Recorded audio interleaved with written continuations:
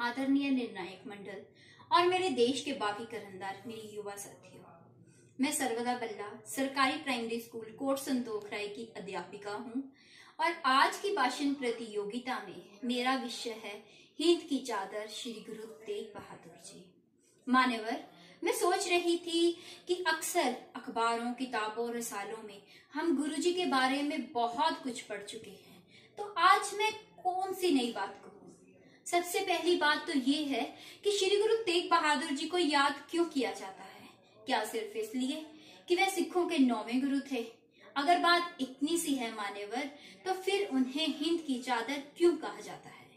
चादर, जिसे ठंड में खुद को बचाने के लिए हम उसे ओढ़ लेते हैं और वो हमें अब अपनी शत्रु छाया में ले लेती है। वैसे ही पूरे हिंदू समाज को बचाने के लिए श्री गुरु तेग बहादुर जी ने भी अपनी शत्रु छाया में ले लिया था। मान्यवर आज पड़ोस में किसी के घर में कोई गुंडा उसे मारने के लिए चला आता है तो हम अंदर दुबक जाते हैं, बीच चौराहे में किसी का कत्ल कर दिया जाता है तो हम वहाँ से किसक जाते हैं, बड़े बाज़ार में किसी की इज़्ज़त लूट ली जाती है तो हम सिर्फ़ अपनी बहू बेटियों के बारे में सोचते हैं। क्यों मान्यवर क्योंकि हमारी सोच का दायरा मेरा घर मेरे बच्चों तक ही सिमट कर रह चुका है। हम भूल चुके हैं गुरु जी के बलिदान को, जिन्होंने पड़ोसी राज्य कश्मीर से आए कश्मीरी पंडितों की रक्षा के लिए अपना शीस कुर्बान कर दिया था। मान्यवर, आज बच्चों से पूछा जाए, बेटा, बड़े होकर क्या बनोगे?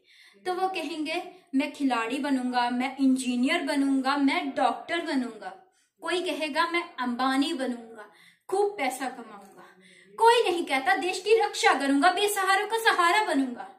पर वो नौ वर्ष का बालक, गोविंद राय भी, श्री गुरु तेग बहादुर जी का ही सुपुत्र था, जिसने बलिदान के लिए अपने पिता को प्रेरित करते हुए कहा था कि, पिताजी, बलिदान के लिए आपसे अच्छा कौन है?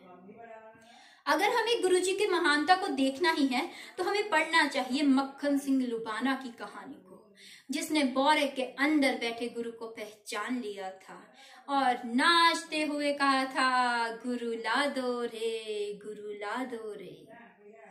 मान्यवर, हम अक्सर पढ़ते हैं, सुनते हैं कि हमें गुरुजी के बताए मार्ग पर चलना चाहिए। मैं आप सबसे पूछना चाहती हूँ कि क्या साल में सिर्फ़ दो बार उनके जन्म दिवस और उनके शहीदी दिन पर। उन्हें याद करने से हमारा मकसद हल हो जाएगा, या उनकी याद में भाषण प्रतियोगिताएँ करवाने से हम उनके बताए मार्ग पर चलना शुरू कर देंगे? नहीं, मान्यवर। बिल्कुल नहीं, कदापि नहीं, कदाचित नहीं, क्योंकि तब सिर्फ़ एक मुगल थे।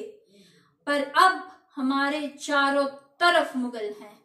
हमारे अंदर की इच्छा मुगल है, बढ़ता हुआ आतंकवाद मुगल है भ्रष्टाचार मुगल है, भ्रूण हत्या मुगल है, नशाखोरी मुगल है, तानाशाही मुगल है, भाईचारे का खात्मा मुगल है। और सबसे बढ़कर कुछ राजनेताओं के क्रूर पंजे मुगल हैं। पर श्री गुरु तेग बहादुर जी, कोई नहीं। आज ज़रूरत है ज़रूरत है गुरु जी के बताए मार्ग पर चलने की, उनकी शिक्षाओं को अपने जीवन में उतारने की और अपने भारत को तरक्की की ओर ले जाने की। अगर हम यूँ ही गुरु जी के बताए मार्ग पर नहीं चले और उनकी शिक्षाओं को बुलाते रहे तो मैं दावे से कहती हूँ कि विश्व के मानचित्र पर भारत का नक्शा ढूँढने पर भी नहीं मिल पाएगा। ज़रूरत है समझने की। अरे ना समझोगे तो मिट जाओगे हिंदुस्तान वालों। तुम्हारी दास्तां तक ना होगी दास्तानों में। अगर मिले भी तो खाली घर मिलेंगे या ज़िंदा लाशें मिलेंगी मकानों में। अंत में यही कहूँगी कि जब से पढ़ा इतिहास गुरु का, कि शिष्यों के संग सीस दिया है, मरना तो तय है भाइयों, मैंने जीना सीख लिया है, मैंने जीना सीख लिया है। धन्यवाद।